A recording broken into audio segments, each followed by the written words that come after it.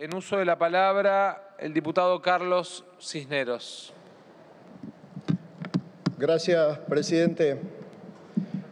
Como diputado de Tucumán y trayendo al recinto las palabras de la diputada Gailar, voy a votar en forma afirmativa, con la seguridad que voy a volver con mucha tranquilidad a mi provincia, fruto de la, de la coherencia política y sindical a lo largo de toda mi vida política. En este mismo recinto se han debatido, y en una fecha tan importante como esta, se han debatido derechos sociales importantes. El derecho al voto femenino, el divorcio, el matrimonio igualitario, la identidad de género. Eh, todos estos derechos que generan igualdad y autonomía.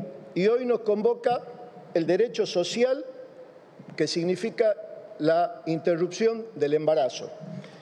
Estamos a favor de la vida.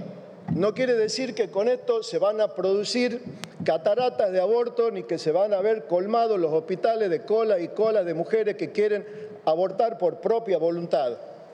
Nos toca como Estado dar respuesta a las injusticias que sufren las mujeres. Estamos en el 2020 y se sigue criminalizando a las mujeres, utilizando un código penal de hace 100 años. Presidente, yo quiero que alguno vea este libro, si lo ha leído, Somos Belén. Es una tucumana que estuvo presa 29 meses, 29 meses en mi provincia por tener un aborto espontáneo.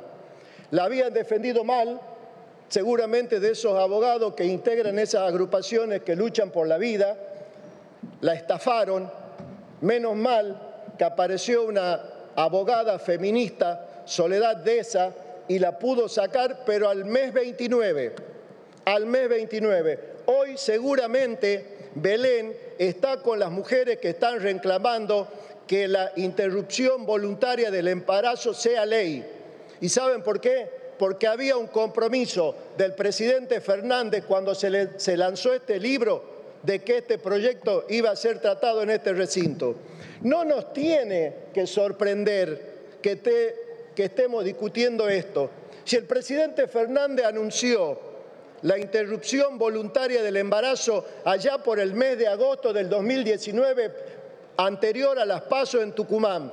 Lo pronunció también en su campaña electoral para las elecciones generales. Lo dijo en este recinto, lo dijo en este recinto el mismo día que asumía la presidencia y lo volvió a ratificar lo volvió a ratificar el día primero de marzo en la apertura de sesiones. No sé por qué nos sorprende, no sé por qué nos sorprende. Yo quiero ser breve con respecto a la penalización. Hay dos médicos que colaboraron en una interrupción de embarazo en Tucumán y casi les quitan la matrícula, casi van presos, Cecilia Uset y José Gijena, y fueron perseguidos sus hijos en los colegios. Esa intolerancia es inaceptable en el 2020. Tenemos que cambiar. Veo que hasta el momento los debates son bastante respetuosos y considerando las posturas de todos. Nos debemos respetar. Yo quiero hacer una reflexión personal.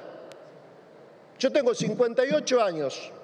Creo que hace 10 años atrás yo no hubiese estado votando esta ley, pero uno se va desconstruyendo y va viendo y va cambiando. Lo malo hubiese sido que yo pensara lo mismo de hace 10 años atrás. Por eso es que acompaño la ley, para que se vote, para que sea ley, para que haya justicia, porque también le quiero decir que en Tucumán, que en Tucumán se producen abortos clandestinos, se producen abortos clandestinos y mueren mujeres. ¿Y saben cuál es el método? ¿Sabe? Y no hay condena social para quienes realizan esa forma de medicina clandestina, dos agujas de tejer en el útero. Y esas mujeres se ven imposibilitadas de tener hijos en el futuro o si no mueren de una infección en la maternidad. Por eso, señor presidente, mi voto es afirmativo y que sea ley. Muchas gracias.